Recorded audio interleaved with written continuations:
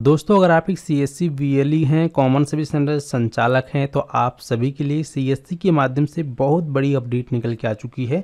जैसा कि आप सभी यहाँ पर देख सकते हैं, इस ट्वीट को 14 अगस्त को किया गया है, जहाँ पे साफ़ साफ़ बताया गया है कि अब सभी C S C V L C S C के माध्यम से एक्सिस बैंक का ज़ीरो बैलेंस अकाउंट ओपन कर पाएँगे। वो भी बायोमेट्रिक से, ठीक यानी कि फिंगरप्रिंट के माध्यम से आप सभी अपने कस्टमर का ज़ीरो बैलेंस अकाउंट ओपन कर सकते हैं, जिसमें कि कस्टमर को डेबिट कार्ड मिलेगा चेकबुक मिलेगा मोबाइल बैंकिंग और इंटरनेट बैंकिंग की भी सुविधा प्राप्त होगी। और यहाँ पे जो वी कमीशन है वी कमीशन यहाँ देखेंगे तो अकाउंट ओपनिंग पे सिक्सटी एट रुपये यानी कि सत्तर रुपये वी कमीशन यहाँ पे पर अकाउंट ओपनिंग पे मिलने वाला है। तो अगर आप एक सी एस सी वी हैं और आप सभी के पास एक्सिस बैंक का बीसी पॉइंट है तो आप सभी के लिए बड़ी अपडेट है। लेकिन अगर आपके पास एक्सिस बैंक का बी पॉइंट नहीं है तो किस प्रकार से आप सभी सीएससी के माध्यम से एक्सिस बैंक का बी पॉइंट लेंगे? क्योंकि ये आप सभी के लिए काफ़ी अच्छा और सुविधाजनक रहने वाला है। अब आप सभी सी के माध्यम से ई के द्वारा ज़ीरो बैलेंस अकाउंट को ओपन कर सकते हैं।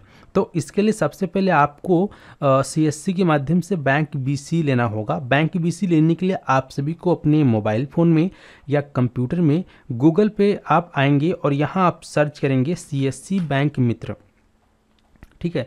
तो यहाँ हम टाइप कर लेते हैं सी एस सी बैंक मित्र। इतना टाइप करके सर्च करेंगे। सर्च करने पर आप सभी की स्क्रीन पर इस प्रकार से आपको लिंक देखने को मिलेगा। आपको सी एस सी बैंकिंग वाले ऑप्शन पर क्लिक कर देना है।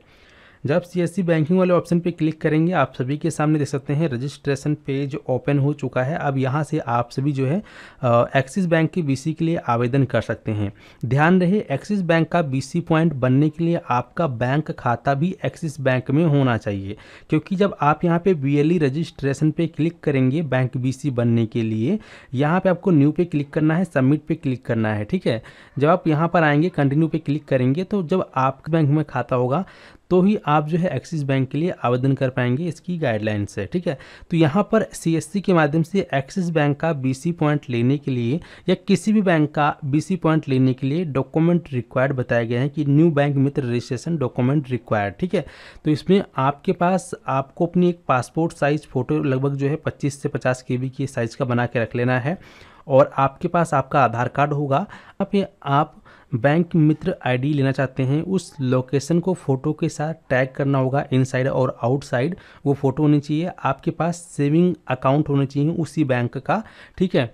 आपके पास हाईएस्ट क्वालिफिकेशन कम से कम दसवीं या बारहवीं पास होनी चाहिए। आपके पास आईवीएफ का सर्टिफिकेट भी होना चाहिए। अगर आपके पास आई का सर्टिफिकेट नहीं है तो बनवा लीजिएगा।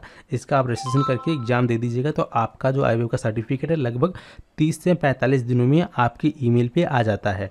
फिर आपके पास आपका पैन कार्ड होगा ही। सत्य आपको एक नो ऑब्जेक्शन सर्टिफिकेट यानी कि एनओसी बनवा सकते हैं, या फिर इसके जगह आप पी भी, यानी कि पुलिस वेरिफिकेशन सर्टिफिकेट भी लगा सकते हैं। तो ये चीज़ें अगर आपके पास उपलब्ध है तो आप कंटिन्यू पे क्लिक करोगे तो कंटिन्यू पे क्लिक करने के बाद आप सभी के सामने रजिस्ट्रेशन पेज आ जाएगा, जहाँ पर आप सभी अपनी डिटेल्स को फिल कर सकते हैं। मैंने ऑलरेडी कर रखा है, इसलिए यहाँ पे मुझे ऑलरेडी बता रहा है, ठीक है? तो अगर आप सभी को एक्सिस बैंक का बीसी पॉइंट चाहिए तो यहाँ पर आप रजिस्ट्रेशन करेंगे और इसके बाद फिर आप सभी जो है, अगर आपको मिल जाता है एक्सिस बैंक का बीसी पॉइंट तो फिर आप सभी जो है उसके माध्यम से फिंगरप्रिंट के द्वारा ज़ीरो बैलेंस खाता कस्टमर का ओपन कर पाएँगे और यहाँ पे जो है कस्टमर इनिशियल फंड जो है पाँच सौ अपने बैंक अकाउंट में डालेगा, वो उसके बैंक अकाउंट में ही रहेगा, ठीक है? यहाँ पर कोई भी एक्स्ट्रा चार्जेस नहीं रहेगा, फुली यहाँ पर ज़ीरो बैलेंस सेविंग अकाउंट्स यहाँ पे लिखा हुआ है, ठीक है? यानी fully zero balance saving account रहने वाला है। दोस्तों, उम्मीद करता हूँ कि आप लोग अच्छे से समझ गए हैं। अगर आपके मन में कोई कन्फ्यूज़न या डाउट है तो आप बता दीजिएगा। और आप में से कितने वेली हैं जिनके पास सीएससी के माध्यम से एक्सिस बैंक का बीसी पॉइंट मिला हुआ है? और आप सभी इस प्रकार से ज़ीरो बैलेंस वाला काम कर रहे हैं? और प्लीज़ कमेंट में बताइएगा ज़रूर, जिससे कि हमारे जितने भी व्यूअर हैं, उनको भी अधिक से अधिक जानकारी प्राप्त हो सके।